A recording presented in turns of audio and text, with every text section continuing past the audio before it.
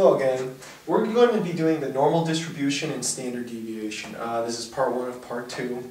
And the stuff over here is talking about what we're going to do in the next lesson. I just might as well preface it anyways. Variance is noted as something called sigma squared, and this is the formula for it.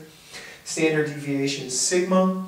Mean can be notated with an x with a line over it, we call it x hat, and number of trials is n. And I'll go ahead and I'll explain that as we go along with it, but uh, it's better to have a logical concept of what's going on here. And people call this a bell curve, it's a normal distribution in this case. And it's actually a normal distribution of something uh, that a lot of people, for some bizarre reason, take a lot of pride in. Uh, example, this is an IQ test. And you probably can't see all the percentages, that's unfortunate, I'm sorry about that. But basically the average score, the, the mean score that you're supposed to get in an IQ test, uh, not below, not above is 100. And if you get anything above 100, you're starting to get into this side of the bell curve. And if you're on this side, well, the normal distribution curve, I'll call it that. And if you're on this side, you're going to be on the latter half of the uh, normal distribution curve. And basically, uh, an IQ test is divided by 15 points. Each 15 points counts as a standard deviation. So from 100 to 115 is one standard deviation. From 115 to 3, 130 as a score is another standard deviation. From 130 to 145, 145 to 160, etc. And basically, if you fall in between the 100 to 115 category, you're in 34% of the population. If you're in 85 to 100, you fall in the other 34% of the population. And most of the population falls within one standard within one standard deviation of 100 of the uh, uh, normal IQ, I suppose is what you want to say. That's 68% of the population. Uh, people start taking it kind of the wrong way afterwards. If, if you're two standard deviations, uh, if you're, um, sorry, if you're two, if you're not more than two standard deviations away, but if you're about two standard deviations away, you're in the 13.5 category. So if your IQ is like a, a 72, you're around right here in this area, the 13.5%. Uh, conversely, if it's from 115 to 130, you're in the 13.5. And then people start bragging at this point. Uh, if they go above 130, they're in 2% of the population, and if they're above 145, they're in the top one half of the population. And uh, some people take this a little too seriously. I would say that the best indicator of your uh, well-being isn't necessarily how high your IQ is, it's whether or not you care about your family and friends and take care of your family and you know, you're kind to people. I did have a friend, I don't know why they used to do it, but they used to phrase it like this, which really annoyed me. And uh, most of the time you don't say anything, but I felt this time compelled to say something.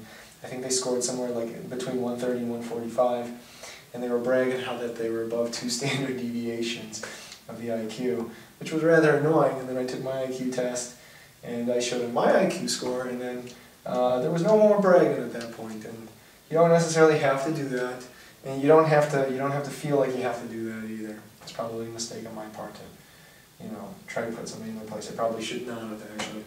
It doesn't matter where you really score as long as you take care of what you're supposed to take care of. So that's my sweet lesson of the day. Um, yeah, so that's a normal distribution. What we're going to do is we're going to relate it to variance, standard deviation, mean, and number of trials. And I'm going to give you an example.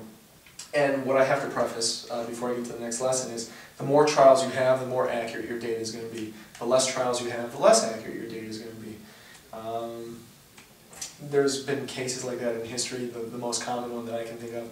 Not necessarily with variance and standard deviation by any means, it's just uh, poor aspects of um, statistics, was the Truman versus Dewey presidential election, where they had called, uh, where, it was a uh, really expensive survey where they had called people, maybe I'd already talked about this one lesson, I'll go ahead and do it again. Now. Anyways, they had called people, uh, this back in 1940, um, I want to say 48, could have been 48, it was one and two.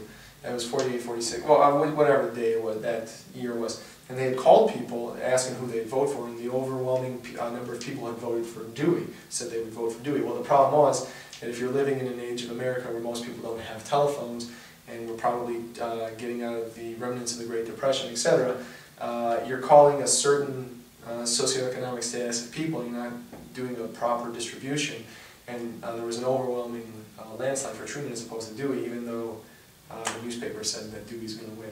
That's an example where statistics goes bad. Um, you have to watch out for that because actually that happens more than you think. And in this case, that's another thing. People look at this and they, they, they get a certain score and they automatically think that it entitles them to be better than somebody. And that in fact is not true.